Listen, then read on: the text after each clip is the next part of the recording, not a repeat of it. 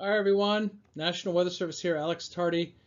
I uh, wanted to give you an update uh, and a expectation for the next round of rain and Santa Ana winds. This is updated Thursday, November 16th.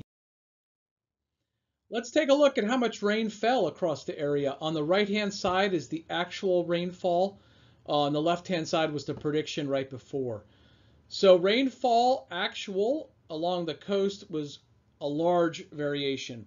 From under a quarter of an inch in downtown San Diego, even with thunderstorms, to over an inch in northern San Diego County, like Carlsbad, up towards Temecula.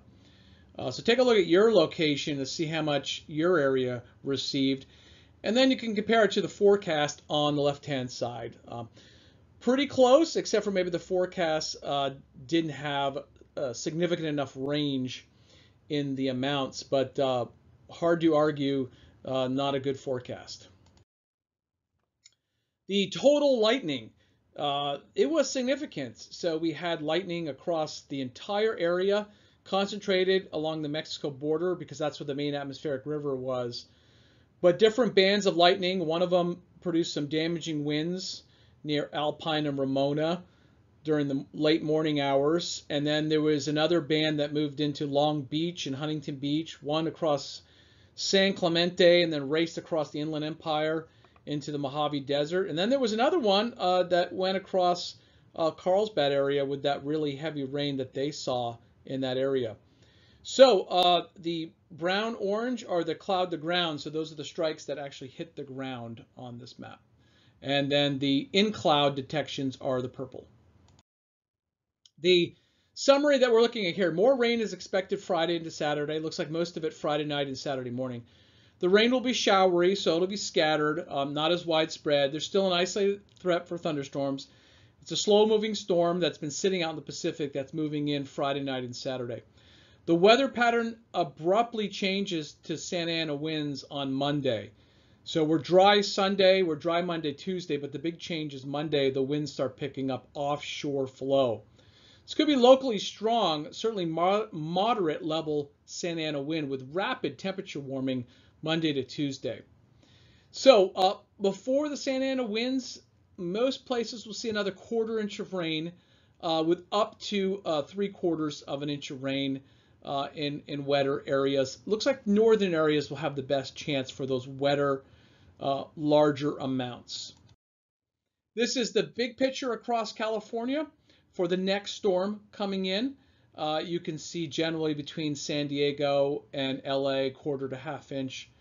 Um, but you can see because of the storm track going to the north, the central southern coast of California doing better, uh, especially just north of LA. This is a zoomed up version of it, uh, a little bit more detail. You can see uh, locally around an inch in the San Bernardino Mountains and foothills.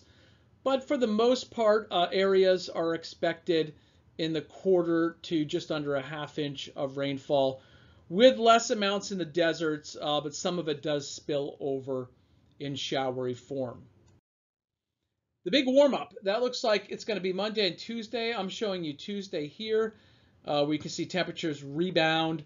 Uh, even in the mountains, they start to warm up, but you get uh, especially that Santa Ana effect with the warmest temperatures around 80, low 80s on the coast. These are the wind speeds estimated. Don't focus on the values, but focus on the wind corridors. So offshore wind making it to the coast in Orange County, uh, the Cajon Pass area. Uh, this event looks a little bit better than past events for San Diego County. So you have a larger area of uh, frequent wind gusts over 40 miles per hour in the yellow shaded, with even some of that wind offshore coming from the east, making it um, near the coast. Uh, for example, Miramar, Escondido, and maybe even into San Diego when it's at its peak uh, uh, Tuesday morning. What's the weather pattern driving all this? This slow, stubborn, closed low system that has a lot of energy with it, but it's been just spinning offshore. It drove that atmospheric river up on Wednesday.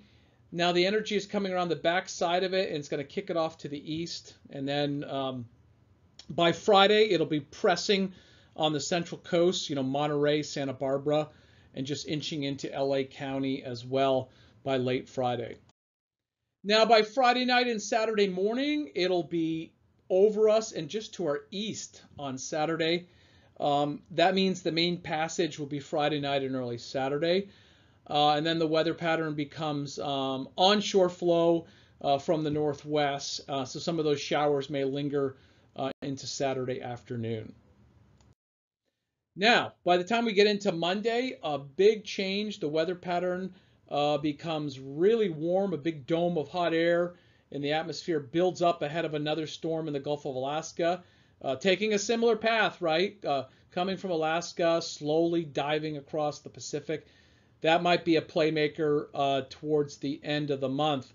Now, um, with the colder air coming over the top of that big dome of hot air, surface high pressure sets up over Utah, and that develops our moderate to locally strong offshore Santa Ana wind uh, on Monday into Tuesday. So high to low pressure.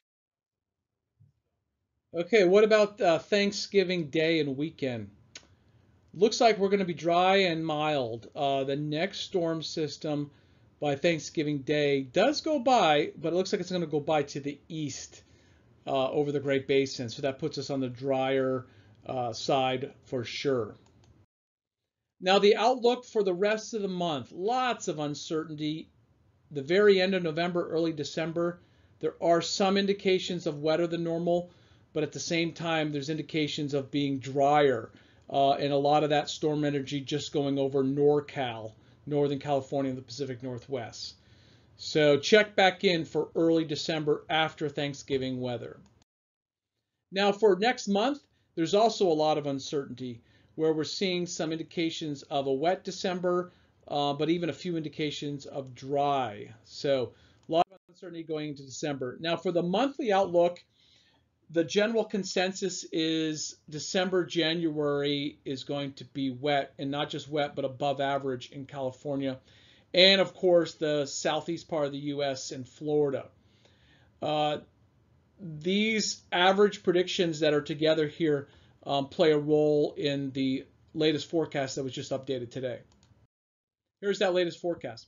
It's now expanded the winter or December through February outlook to, instead of being white equal chances, to be above average for really all of California. So this is a new update. Uh, if you're following the older updates, uh, they it was showing a more focused area in central northern California. Now it's a little more broader brush and a lot closer to what I showed you before. So still milder for much of the northwest, but it now has a little more confidence. There's a lot of confidence in the southeast United States, as you can see in the dark green of having a wet winter, where wet conditions have already started there as well. You can check out the latest uh, alerts and monitor the weather like temperature, wind, and rain at the link shown here. Thanks everyone for joining. Have a great holiday weekend.